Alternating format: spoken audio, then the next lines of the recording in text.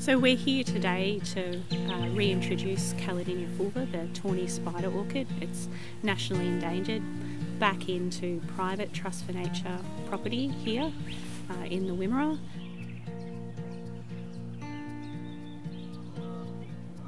I enjoy the people, um, and that's one of the things about a lot of the orchid things. The people who are there have got a very positive outlook on life, and they're great to be with.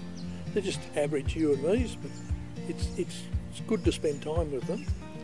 And I like to see the plants going into the ground and seeing how they grow and learning about which bit of the ground they will grow in and how we do establish reintroduced populations and how they become part of the environment and no longer dependent on us. The Royal Botanic Gardens Orchid Conservation Program uh, is a long standing program that's been running for well over 20 years. We're currently working on about 30 federally endangered species, uh, looking at their ecology, mycorrhizal associations, pollination, and reintroduction of these species.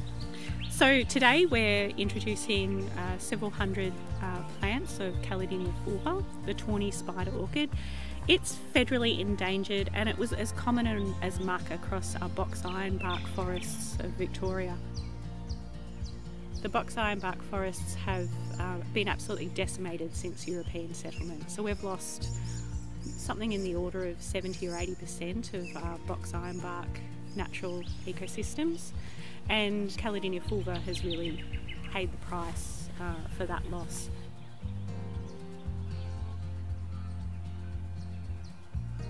I suppose it got to the stage where we realised if we were going to do something, things had to be grown because most of the populations were too far gone to recover just by working on the habitat.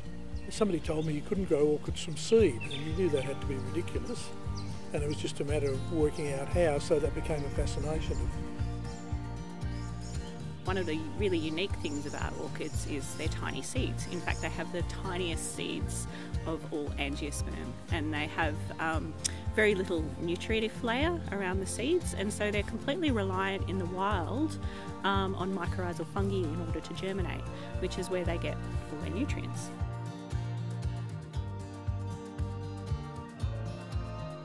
Propagating our orchids here in the lab can be quite a complex process. We first need to isolate the fungi from the roots of wild plants. We'll grow the fungi up in petri dishes and then sow the seed with the fungi.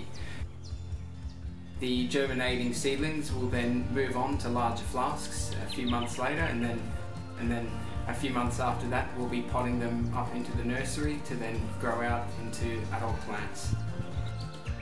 Our nursery here is probably one of the largest collections of uh, Australian terrestrial orchids in the world. We have uh, almost 60 threatened species that we, we look after.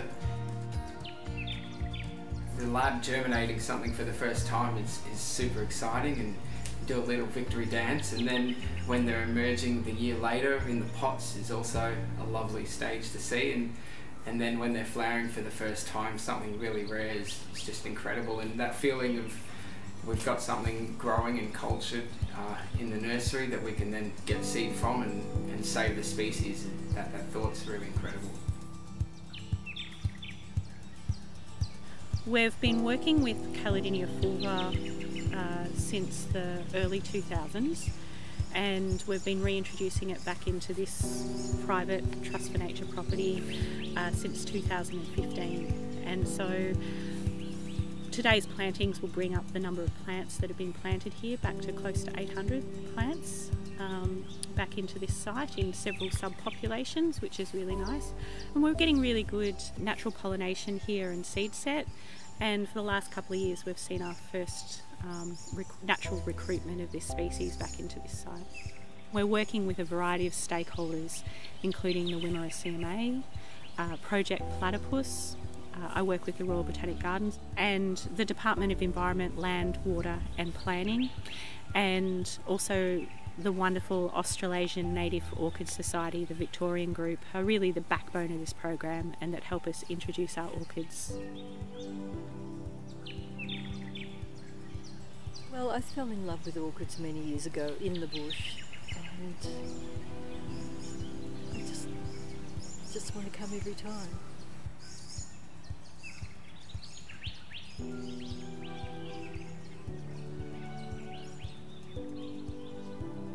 Many of us can recall in younger days seeing orchids where they're no longer there.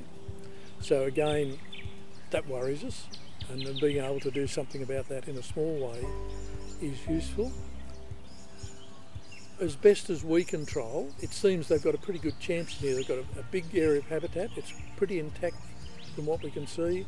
It's got a great variety of insects and birds and all, all, sorts of things that make up the total environment. So there's a good chance, I think, that it's, it's as good as any chance we've got. Our reintroductions have largely been successful, and the reason is for that really is the effort that has been put into matching the vegetation, ensuring that the mycorrhizal fungi is present, um, finding sites that have natural pollination and the pollinator is present, and then it's really about numbers as well. So we know for reintroductions that small populations, uh, plants that are introduced, you know, 50 plants or less, really are unlikely to survive.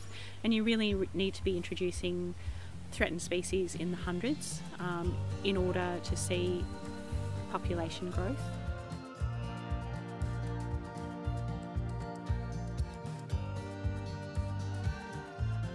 Ultimately we don't want it threatened anymore. So we want to be putting out thousands of plants in multiple populations. And by doing this research first, we can really then optimise how to do that.